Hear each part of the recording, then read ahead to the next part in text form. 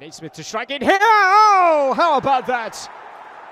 It's a super equaliser. They weren't in front for long, just three minutes. Coventry City and Naismith with an absolute beauty of a leveller at the Ricoh, and it is 2 2.